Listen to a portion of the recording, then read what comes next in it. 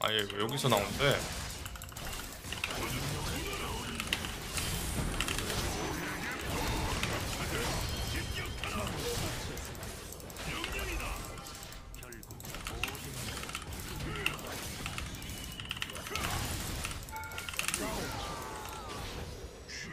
적을 처치했습니다. 적에게 당했습니다.